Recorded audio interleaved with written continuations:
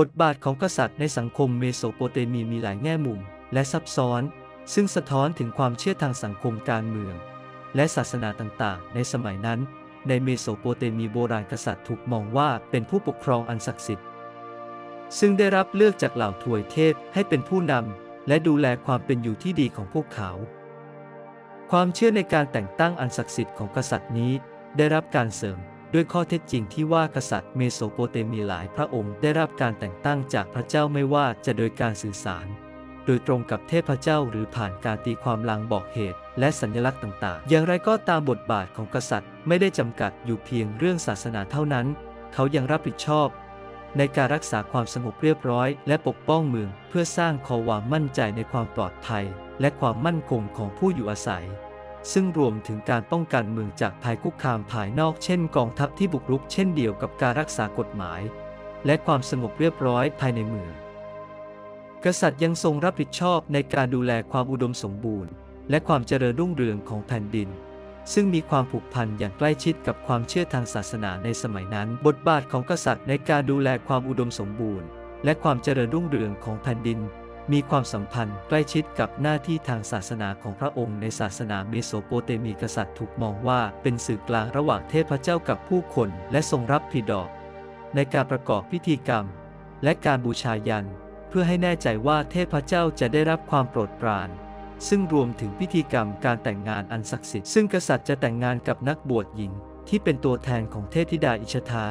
และพิธีกรรมของอาคิตู ซึ่งกษัตริย์จะสิ้นพระชนและเกิดใหม่ เป็นสัญลักษณ์เพื่อให้แน่ใจว่าจะมีการต่ออายุแผ่นดิน และความต่อเนื่องของระเบียบจักรวาล บทบาทของกษัตริย์พัฒนาไปตามการเวลาสะท้อนถึงการเปลี่ยนแปลงโครงสร้างทางการเมือง และสังคมตลอดจนความเชื่อทางศาสนา ในนครรัฐเมสเปียตอนต้นกษัตริย์มักถูกมองว่าเป็นผู้ปกครองศักดิ์สิทธิ์ไม่มากก็น้อย โดยมีอำนาจเบ็ดเสร็จเหนือเมือง และผู้อยู่อาศัยในเมืองอย่างไรก็ตาม เมื่อนครรัฐเติบโตและซับซ้อนมากขึ้นบทบาทของกษัตริย์ก็มีบทบาทมากขึ้น ด้วยระบบราชการและระบบการปกครองที่ซับซ้อนมากขึ้น แม้จะมีการเปลี่ยนแปลงเหล่านี้บทบาทของกษัตริย์ ในฐานะผู้ปกครองอันศักดิ์สิทธิ์และผู้ไกล่เกลี่ยระหว่างเทพเจ้ากับผู้คนยังคงเป็นส่วนสำคัญของสังคมเมโสโปเตเมียกษัตริย์ยังคงถูกมองว่าเป็นผู้ค้ำประกันความอุดมสมบูรณ์ และความเจริญรุ่งเรืองของแผ่นดิน และหน้าที่ทางศาสนาของพระองค์ยังคงเป็นส่วนสำคัญในบทบาทของพระองค์ บทบาทของกษัตริย์ในสังคมเมโสโปเตเมียมีความซับซ้อน และหลากหลายสะท้อนถึงความเชื่อทางสังคมการเมือง และศาสนาต่างๆ ในสมัยนั้นกษัตริย์ถูกมองว่าเป็นผู้ปกครองศักดิ์สิทธิ์ ซึ่งพระเจ้าเลือกให้นำประชาชน และดูแลความเป็นอยู่ที่ดีของพวกเขา และรับผิดชอบในการรักษาความสงบเรียบร้อยปกป้องเมือง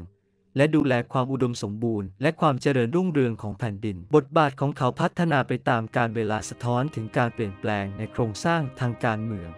และสังคมตลอดจนความเชื่อทางศาสนา แต่สถานะของเขาในฐานะผู้ปกครองอันศักดิ์สิทธิ์และผู้ไกล่เกลี่ยระหว่างเทพเจ้ากับผู้คนยังคงเป็นลักษณะสำคัญของสังคมเมโสโปเตเมีย ฐานะปุโรหิตและลำดับชั้นทางศาสนาในเมโสโปเตเมีย เป็นส่วนสำคัญในการทำงานของสังคม และมีบทบาทสำคัญในการรักษาความสมดุล และระเบียบของจักรวาลลำดับชั้นทางศาสนาจัดเป็นระบบที่ซับซ้อนของนักบวชนักบวชหญิง และเจ้าหน้าที่วัด โดยแต่ละระดับ จะมีความรับผิดชอบ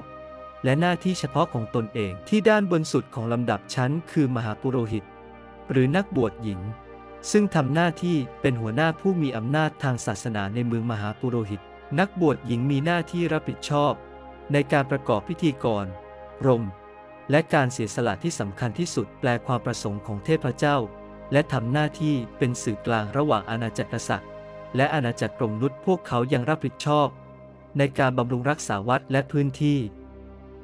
รวมทั้งดูแลการปฏิบัติทางศาสนาของชาวเมืองด้วย ด้านล่างมหาปุโรหิต นักบวชหญิงมีนักบวช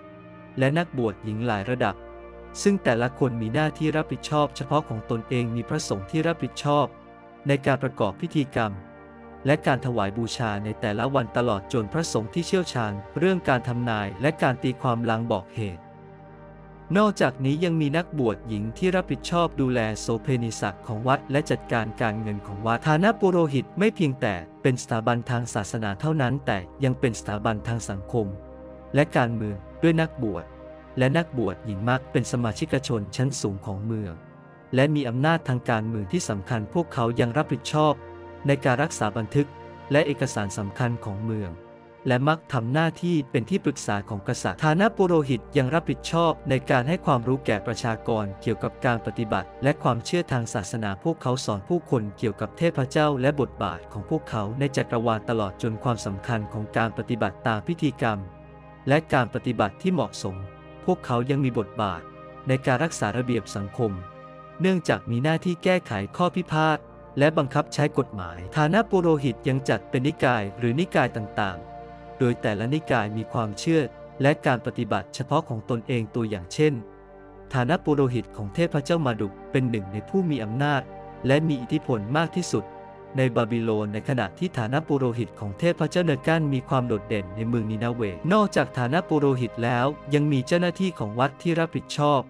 ในการจัดการ การดำเนินงานของพระวิหารในแต่ละวันอีกด้วยเจ้าหน้าที่เหล่านี้รวมถึงผู้บริหารวัด ซึ่งรับผิดชอบในการจัดการการเงินของวัด และดูแลการก่อสร้างอาคารวัดใหม่ นอกจากนี้ยังมีผู้ดูแลวัด ซึ่งรับผิดชอบในการรักษาความสะอาด และความเป็นระเบียบเรียบร้อยของวัดตลอดจนเตรียมเครื่องบูชา และเครื่องบูชาสำหรับเทพเจ้า ลำดับชั้นทางศาสนาไม่ได้จำกัด อยู่เพียงฐานะปุโรหิตเท่านั้น แต่ยังขยายไปถึงประชาชนทั่วไป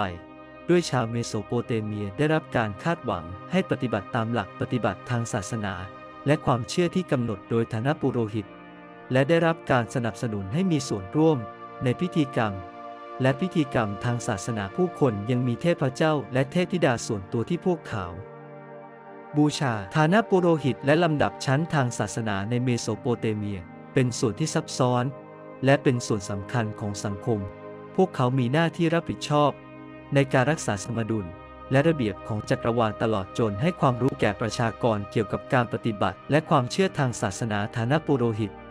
ยังเป็นสถาบันทางสังคม และการเมือง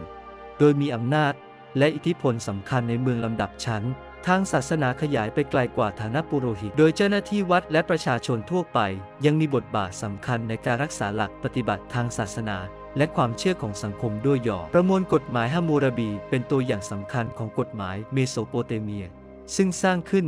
โดยกษัตริย์ฮัมมูราบีแห่งบาบิโลนในร้อยปีที่ 18 ก่อนคริสตศักราชหลักปฏิบัตินี้มีความโดดเด่น ในด้านความครอบคลุมหัวข้อทางกฎหมายต่างๆ รวมถึงกฎหมายครอบครัวกฎหมายธุรกิจและกฎหมายอาญาหลักปฏิบัตินี้ให้ข้อมูลเชิงลึก ที่มีคุณค่าเกี่ยวกับคุณค่าทางสังคมการเมือง และศาสนาของสังคมบาบิโลนในช่วงเวลานี้ ด้านที่น่าสนใจที่สุด ประการหนึ่งของประมวลกฎหมายฮัมมูราบี คือการเน้นย้ำถึงความสำคัญของความเชื่อทางศาสนา ในการกำหนดระบบกฎหมายรหัสนี้อยู่บนพื้นฐานของหลักการตาต่อตาฟันต่อฟัน ซึ่งเป็นแนวคิดพื้นฐาน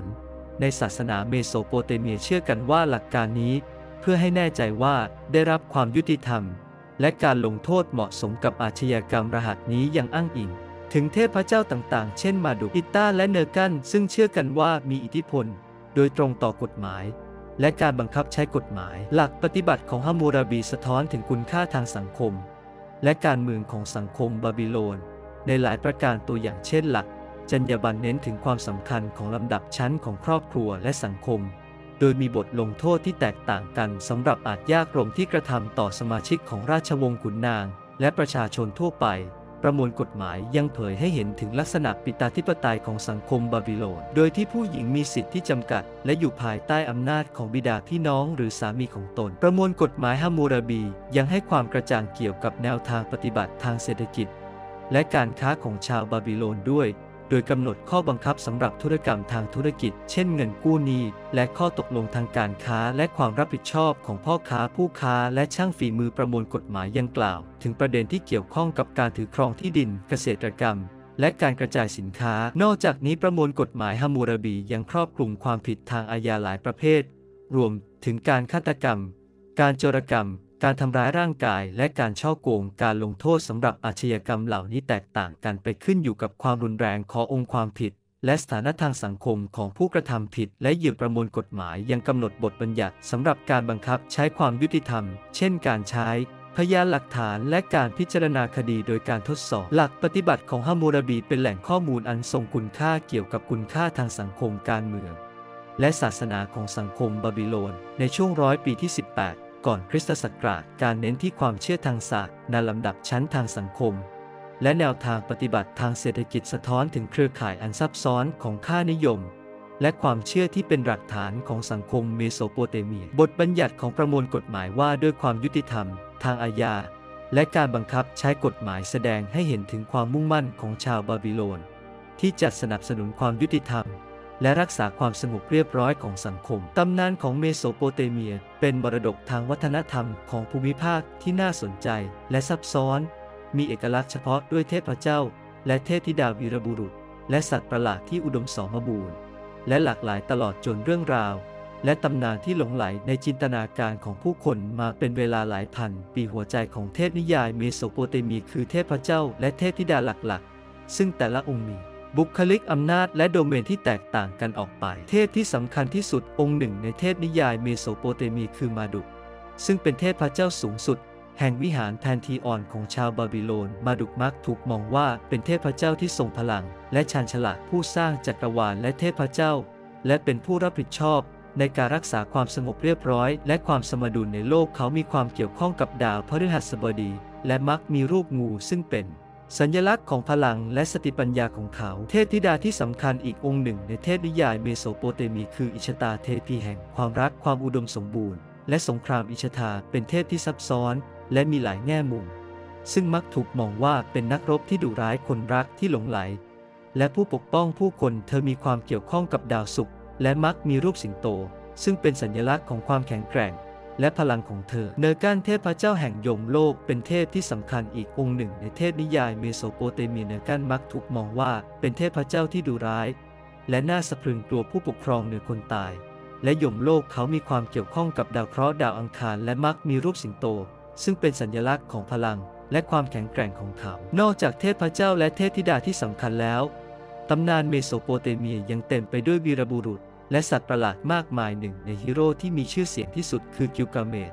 ซึ่งเป็นตัวเอกของมหากาพย์กิลกาเมชซึ่งเป็นบทกวียาวที่บอกเล่าเรื่องราวการผจญภัย และการแสวงหาความเป็นอมตะของเขาฮีโร่คนอื่น ๆ ได้แก่เอ็นคิดู ซึ่งเป็นเพื่อนและสหายของกิลกาเมชและพระเจ้าซาร์กอนมหาราช ซึ่งเป็นราชาและผู้พิชิตในตำนาน ตำนานเมโสโปเตเมียยังมีสัตว์ประหลาดและสิ่งมีชีวิตเหนือธรรมชาติ มากมาย เช่น มังกรเทียแมทสัตว์ทะเลเลวีอาธาน และปีศาจปาซูซูสิ่งมีชีวิตเหล่านี้มักเกี่ยวข้องกับเทพเจ้า และเทพธิดา และถูกมองว่ามีความสามารถด้านเวทมนต์อันทรงพลัง เรื่องราวและตำนานที่เกี่ยวข้องกับเทพเจ้า และเทพธิดาที่สำคัญ วีรบุรุษ และสัตว์ประหลาด ในตำนานเมโสโปเตเมียมีความเชื่อมโยงกับโลกธรรมชาติ และประสบการณ์ของมนุษย์ ในหลากหลายรูปแบบตำนาน และตำนานมากมายมีเรื่องราวเกิดขึ้นในโลกที่คล้ายกับโลกที่เรารู้จักแต่มีองค์ประกอบเหนือธรรมชาติ และพลังเวทพวกเขามักจะเกี่ยวข้องกับหัวข้อต่างๆ เช่นการสร้าง การต่อสู้ระหว่างความดีและความชั่วธรรมชาติของจักรวาลและสภาพของมนุษย์ตัวอย่างเช่น มหากาพย์แห่งกิลกาเมดเกี่ยวข้องกับประเด็นต่างๆ เช่น มิตรภาพความรักการสูญเสีย และการค้นหาความเป็นองค์ตักเป็นเรื่องราวที่ครองใจ จินตนาการของผู้คนมานานนับพันปีและยังคงมีความเกี่ยวข้องมาจนทุกวันนี้ ในทำนองเดียวกันตำนานของอิชทาและธรรมุตเกี่ยวข้องกับเรื่องของความรัก ภาวะเจริญพันธุ์และวงจรแห่งชีวิตและความตาย ยุคบาบิโลนใหม่ หรือ 626ถึง539 ก่อนคริสตศักราช เป็นช่วงเวลาของการเปลี่ยนแปลงทางศาสนาที่สำคัญในเมสโปเตเมียโดดเด่น ด้วยการพังอาจขึ้นของลัทธิมาดุกและการพัฒนาแนวทางปฏิบัติ และพิธีกรรมทางศาสนาใหม่ ๆ ในช่วงเวลานี้เราเห็นการเกิดขึ้นของภูมิทัศน์ทางศาสนาที่ซับซ้อนและหลากหลาย โดยมีเทพเจ้าและลัทธิต่างๆ มากมายที่แย่งชิงอิทธิพลและความโดดเด่น ปัจจัยสำคัญประการหนึ่งที่ขับเคลื่อนการเปลี่ยนแปลงเหล่านี้คือการเปลี่ยนแปลงทางการเมือง และสังคม ในช่วงเวลานั้น ยุคบาบิโลนใหม่ มีจุดเด่นอยู่ที่การผงาดขึ้นของจักรวรรดิบาบิโลนซึ่งรวบรวมผู้คอนอ และวัฒนธรรมที่หลากหลายไว้ด้วยกันภายใต้ผู้ปกครองเพียงคนเดียวสิ่งนี้นำไปสู่การแลกเปลี่ยนความคิดและการปฏิบัติทางวัฒนธรรมมากขึ้น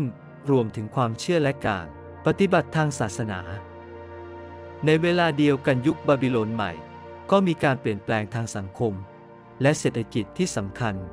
เช่นกันการเพิ่มขึ้นของศูนย์กลางเมืองและการเติบโตของการค้าและการพาณิชย์ทำให้ความมั่งคั่ง และอำนาจของชนชั้นปกครอง ซึ่งมักเป็นผู้อุปถัมภ์ศิลปะและศาสนาเพิ่มมากขึ้น สิ่งนี้นำไปสู่การพัฒนาหลักปฏิบัติทางศาสนา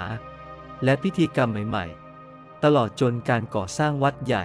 และอาคารทางศาสนาอื่นๆ การเปลี่ยนแปลงที่สำคัญที่สุดอย่างหนึ่ง ในช่วงเวลานี้คือการเพิ่มขึ้นของลัทธิมาดุกเทพพระเจ้าแห่งปัญญาและเวทมนต์ของชาวบาบิโลนมาดุกเป็นเทพองค์สำคัญในศาสนาบาบิโลนมานานนอแล้ว